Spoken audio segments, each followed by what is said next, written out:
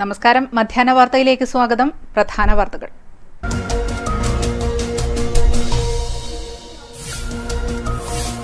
സാജന്റെ ആത്മഹത്യ ഹൈക്കോടതിയിൽ സത്യവാങ്മൂലം സമർപ്പിച്ച് സർക്കാർ.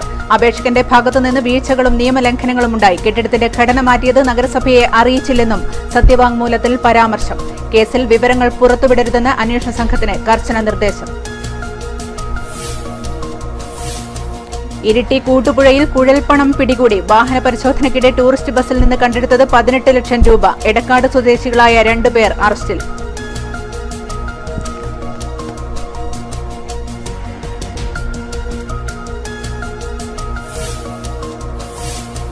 അഴീക്കൽ തുറമുഖത്ത് അടിസ്ഥാന സൌകര്യങ്ങൾ ഒരുക്കുന്നതിന് അടിയന്തര നടപടി സ്വീകരിക്കുമെന്ന് K M Shaji M L A. തൊഴിലാളികളുടെ പ്രശ്നങ്ങൾക്ക് പരിഹാരം കാണുമെന്നും എം എൽ എ.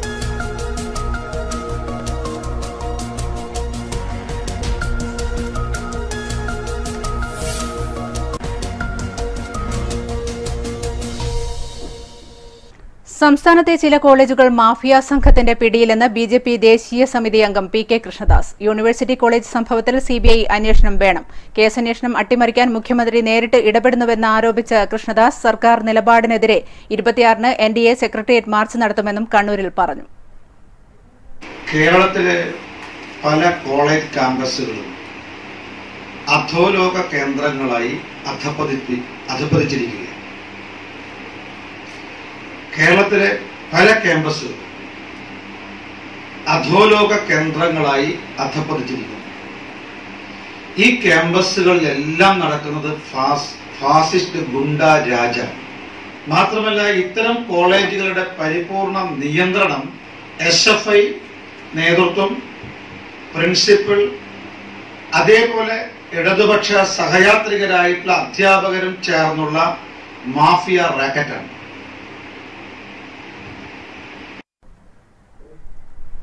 ആന്തൂരിലെ പാർത്ഥ കൺവെൻഷൻ സെന്റർ കെട്ടിട നിർമ്മാണത്തിൽ നഗരസഭാ ചട്ടങ്ങളിലെ അഞ്ചെണ്ണം ലംഘിക്കപ്പെട്ടിട്ടുണ്ടെന്ന് സംസ്ഥാന സർക്കാർ ഹൈക്കോടതിയിൽ സത്യവാങ്മൂലം നൽകി. കോൺക്രീറ്റ് തൂണുകളും മേൽക്കൂരയും സ്റ്റീലാക്കി മാറ്റിയതാണ് ഗുരുതരമായ നിയമലംഘനം.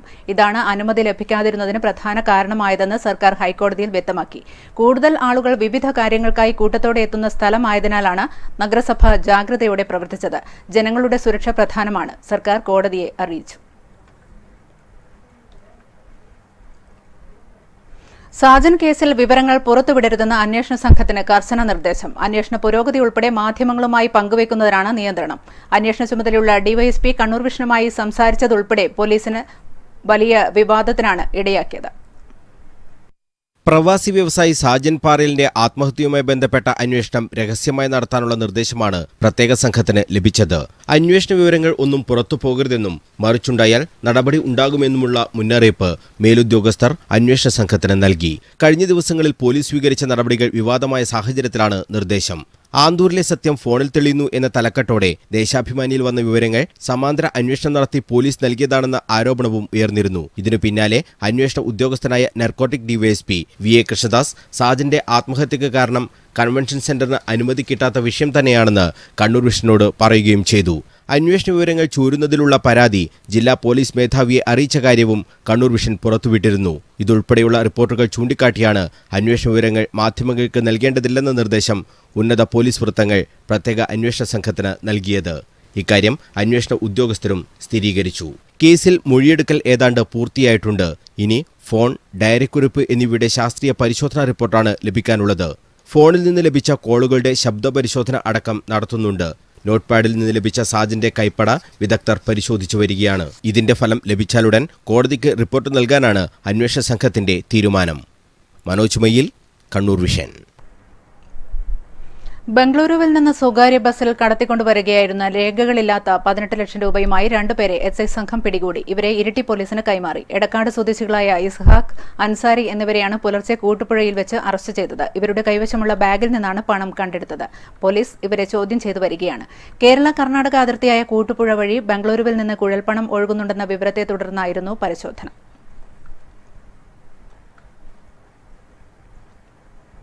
അഴീക്കൽ മത്സ്യബന്ധന തുറമുഖത്ത് അടിസ്ഥാന സൌകര്യങ്ങൾ ഒരുക്കുന്നതിന് അടിയന്തര നടപടികൾ സ്വീകരിക്കുമെന്ന് K M Shaji M L A.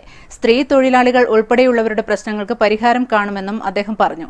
തുറമുഖത്തിന്റെ ശോചനീയാവസ്ഥ സംബന്ധിച്ച് കണ്ണൂർ വിഷൻ റിപ്പോർട്ട്.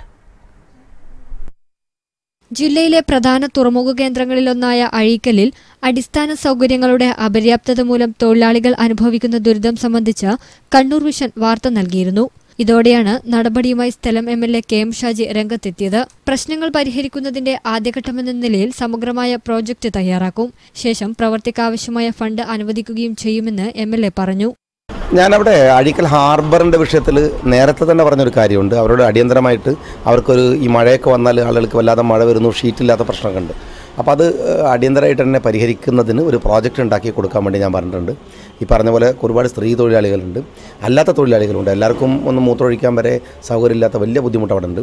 ഒപ്പം ഈ പറഞ്ഞ പോലെ ഒരു ഒരു മേൽക്കൂരില്ലാത്തത് കൊണ്ട് മഴക്കാലത്ത് അവർക്ക് അവിടെ വലിയ പ്രയാസം അനുഭവിക്കുന്നുണ്ട്. അതുകൊണ്ട് ഒരു പ്രോജക്റ്റ് ഉണ്ടാക്കാൻ വേണ്ടി ഞാൻ പറഞ്ഞിട്ടുണ്ട്. ആ പ്രോജക്റ്റ് ഉണ്ടായി കഴിഞ്ഞാൽ തീർച്ചയായിട്ടും അതിന്റെ പൈസ അനുവദിക്കും. സ്ത്രീകൾ ഉൾപ്പെടെയുള്ള തൊഴിലാളികൾക്ക് ആവശ്യമായ അടിസ്ഥാന സൗകര്യങ്ങൾ എത്രയും പെട്ടെന്ന് തന്നെ ഒരുക്കുമെന്നും അദ്ദേഹം കൂട്ടിച്ചേർത്തു. News bureau Kannur. Mattannur Chalode കാറും ചെങ്കല്ല് ലോറിയും കൂട്ടിയിടിച്ച് ഒരാൾക്ക് പരിക്കേറ്റു. പുലർച്ചെ ചാലോട് നാല് റോഡ് ജംഗ്ഷനിലായിരുന്നു അപകടം. പുതിയങ്ങാടിയിൽ നിന്നും കണ്ണൂർ വിമാനത്താവളത്തിലേക്ക് പോവുകയായിരുന്ന കാറും ഇരിക്കൂർ ഭാഗത്തു നിന്ന് ചെങ്കല്ല് കയറ്റി തലശ്ശേരി ഭാഗത്തേക്ക് പോവുകയായിരുന്ന ലോറിയുമാണ് കൂട്ടിയിടിച്ചത്. ഇടിയുടെ ആഘാതത്തിൽ ചെങ്കല്ല് കാറിനേക്ക് കാറിനകത്തേക്ക് തെറിച്ചു വീണ് സ്ത്രീക്ക് പരിക്കേറ്റു. ഇവരെ കണ്ണൂരിലെ സ്വകാര്യ ആശുപത്രിയിൽ പ്രവേശിപ്പിച്ചു.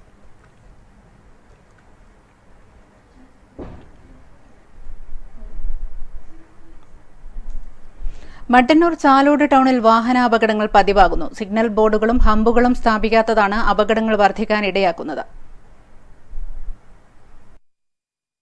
ചാലോട് ജംഗ്ഷനിലാണ് അപകടങ്ങൾ പതിവാകുന്നത്. നാല് ഭാഗങ്ങളിൽ നിന്നും വരുന്ന വാഹനങ്ങളുടെ അമിത വേഗതയാണ് അപകടങ്ങൾക്കിടയാക്കുന്നത്. വീതി കുറഞ്ഞ ജംഗ്ഷനിൽ അപകട മുന്നറിയിപ്പ് ബോർഡുകളോ സിഗ്നലോ സ്ഥാപിക്കാൻ അധികൃതർ തയ്യാറായിട്ടില്ല. ഒരു വർഷത്തിനുള്ളിൽ നിരവധി അപകടങ്ങളാണ് ഇവിടെ ഉണ്ടായത്. വാഹനങ്ങൾ കൂട്ടിയിടിക്കുന്നതിനു പുറമെ ബസ് ഉൾപ്പെടെ കടകളിലേക്ക് പാഞ്ഞുകയറിയ സംഭവങ്ങളുമുണ്ട്. ദൂരസ്ഥലങ്ങളിൽ നിന്നും മറ്റും എത്തുന്ന ഡ്രൈവർമാർക്ക് റോഡ് പരിചയമില്ലാത്തതാണ് അപകടങ്ങൾ വർദ്ധിക്കാൻ ഇടയാകുന്നതെന്ന് വ്യാപാരികൾ പറഞ്ഞു. നിരന്തരമായിട്ട് ഇപ്പോൾ ആക്സിഡന്റ് നടന്നുകൊടുക്കുന്നുണ്ട്. ഇപ്പോൾ ഒരാഴ്ചയായി ഏകദേശം ഒരാഴ്ചയോളമായി നിരന്തരമായിട്ട് ആക്സിഡന്റ് നടന്നുകൊടുക്കുന്നത്. പിന്നെ പുറത്തു നിന്ന് വരുന്ന വാഹനങ്ങൾക്ക് ഈ ജംഗ്ഷനിൽ അത്ര പിടുത്തമില്ല എത്രയും പെട്ടെന്ന് ഒരു സിഗ്നൽ ഇടുക അത്യാവശ്യമാണ്. നൂറുകണക്കിന് വാഹനങ്ങളാണ് ഇതുവഴി കടന്നുപോകുന്നത്. അതുകൊണ്ട് തന്നെ ഈ ജംഗ്ഷനിൽ ഗതാഗതക്കുരുക്കും പതിവാണ്. സിഗ്നൽ ബോർഡുകളും ഹമ്പും സ്ഥാപിച്ച് അപകടം ഒഴിവാക്കാൻ അധികൃതർ തയ്യാറാകണമെന്നാണ് ജനങ്ങളുടെ ആവശ്യം. വിവിധ മേഖലകളിൽ നിന്ന് വരുന്ന വാഹനങ്ങൾക്ക് അറിയില്ല ഇതൊരു ജംഗ്ഷനാണെന്ന്. അതുകൊണ്ട് അധികാരികളുടെ കണ്ണുറക്കണം ഇവിടെ ഒരു മരണം സംഭവിച്ചാൽ മാത്രമേ ഇത് എല്ലാവരുടെയും കണ്ണുറക്കുന്ന തോന്നുന്നത്. അതുകൊണ്ട് എത്രയും പെട്ടെന്ന് ഇതിനൊരു നടപടി സ്വീകരിക്കണം. സിഗ്നൽ ബോർഡുകൾ നിർബന്ധമായും വെക്കണം. News bureau Mattannur. ഇരിട്ടി നഗരസഭ ആരോഗ്യ വിഭാഗം നടത്തിയ പരിശോധനയിൽ ഹോട്ടലുകളിൽ നിന്നായി പഴകിയ ഭക്ഷണം പിടികൂടി. കീഴൂർ ചാവശ്ശേരി പത്തൊൻപതാം മൈൽ എന്നിവിടങ്ങളിലെ ഹോട്ടലുകളിൽ നിന്നാണ് പരിശോധന നടത്തിയത്. പഴകിയ ചിക്കൻ ബീഫ് മത്സ്യം തുടങ്ങിയവയാണ് പിടികൂടിയത്. ഹോട്ടലുകളിൽ പഴകിയ ഭക്ഷണം വിതരണം ചെയ്യുന്നുണ്ടുവെന്ന പരാതിയെ തുടർന്നാണ് പരിശോധന നടത്തിയതെന്ന് health inspector K K Kunhiraman പറഞ്ഞു. J H I Anitha M G Ajayakumar P P Akhil K Ajesh തുടങ്ങിയവർ നേതൃത്വം നൽകി. ഗ്രാമപഞ്ചായത്തുകൾക്കുള്ള ഫണ്ട് വിഹിതം വെട്ടിക്കുറിച്ച ഇടതു സർക്കാർ നയം തിരുത്തുക മാങ്ങാട്ടിടം പഞ്ചായത്ത് ഭരണസമിതിയുടെ സ്വജനപക്ഷപാതം അവസാനിപ്പിക്കുക തുടങ്ങിയ ആവശ്യങ്ങൾ ഉന്നയിച്ച് യു ഡി എഫിന്റെ നേതൃത്വത്തിൽ മാങ്ങാട്ടിടം പഞ്ചായത്ത് ഓഫീസിലേക്ക് മാർച്ച് നടത്തി. K P C C general secretary V A Narayanan march ഉദ്ഘാടനം ചെയ്തു. എം മൊയ്തീൻ ഹാജി അധ്യക്ഷത വഹിച്ചു. K V Jayachandran Rajeesh Maroli P Narayanan Shabeer Edayannur തുടങ്ങിയവർ സംസാരിച്ചു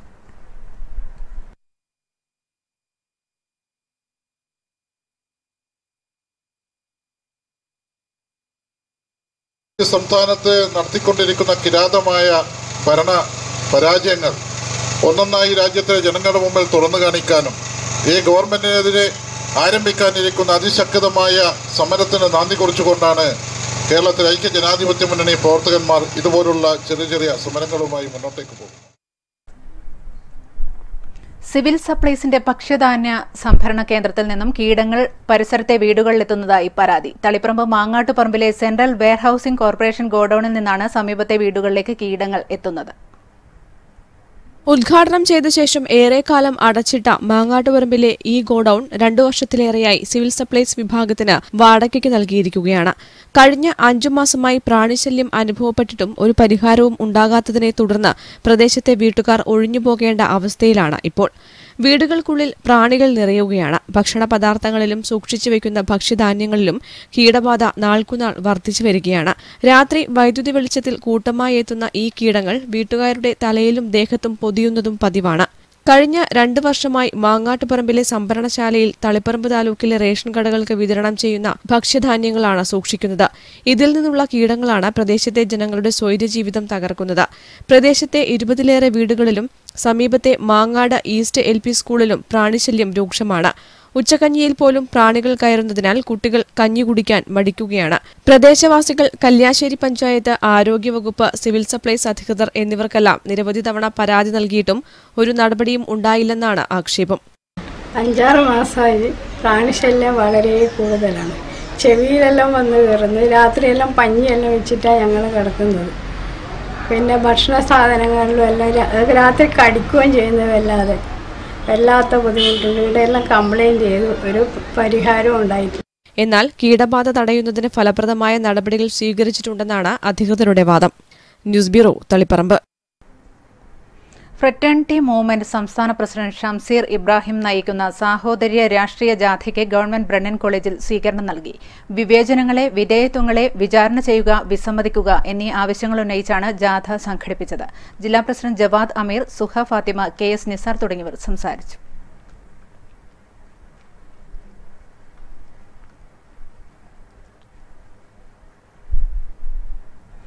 സ്വർണവില സർവകാല റെക്കോർഡിൽ പവന് ഇരുന്നൂറ് രൂപ കൂടി ഇരുപത്തയ്യായിരത്തി തൊള്ളായിരത്തി ഇരുപത് രൂപയായി. ഗ്രാമിന് മൂവായിരത്തി ഇരുന്നൂറ്റി നാൽപ്പത് രൂപയാണ് ഇന്നത്തെ നിരക്ക്. ചരിത്രത്തിലെ ഏറ്റവും ഉയർന്ന വിലയാണ് ഇന്ന് സ്വർണത്തിന് രേഖപ്പെടുത്തിയത്. ഇരുപത്തിയ്യായിരത്തി എണ്ണൂറ് രൂപയായിരുന്നു ഇതിനു മുൻപ് രേഖപ്പെടുത്തിയ ഏറ്റവും ഉയർന്ന നിരക്ക്.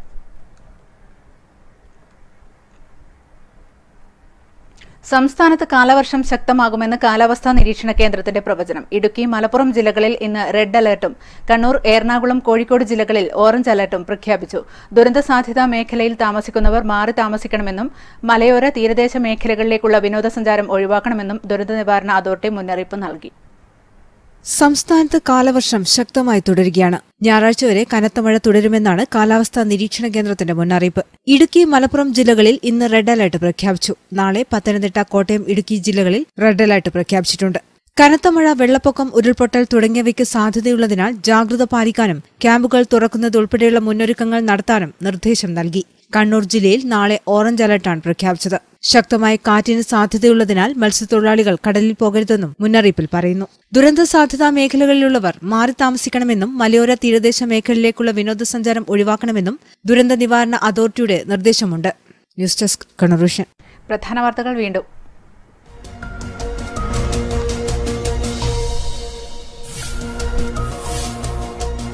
സാജന്റെ ആത്മഹത്യ ഹൈക്കോടതിയിൽ സത്യവാങ്മൂലം സമർപ്പിച്ച് സർക്കാർ അപേക്ഷകന്റെ ഭാഗത്തുനിന്ന് വീഴ്ചകളും നിയമലംഘനങ്ങളും ഉണ്ടായി. കെട്ടിടത്തിന്റെ ഘടന മാറ്റിയത് നഗരസഭയെ അറിയിച്ചില്ലെന്നും സത്യവാങ്മൂലത്തിൽ പരാമർശം. കേസിൽ വിവരങ്ങൾ പുറത്തുവിടരുതെന്ന് അന്വേഷണ സംഘത്തിന് കർശന നിർദ്ദേശം. ഇരിട്ടി കൂട്ടുപുഴയിൽ കുഴൽപ്പണം പിടികൂടി. വാഹന പരിശോധനയ്ക്കിടെ ടൂറിസ്റ്റ് ബസ്സിൽ നിന്ന് കണ്ടെടുത്തത് പതിനെട്ട് ലക്ഷം രൂപ. എടക്കാട് സ്വദേശികളായ രണ്ടുപേർ അറസ്റ്റിൽ.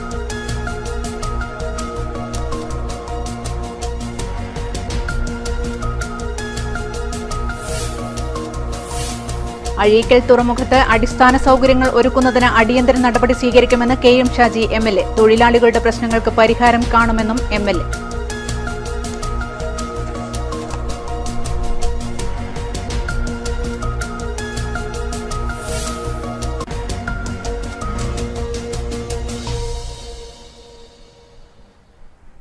മധ്യാഹ്ന വാർത്തകൾ ഇവിടെ പൂർണമാവുന്നു. അടുത്ത വാർത്ത നാല് മണിക്ക്. നമസ്കാരം.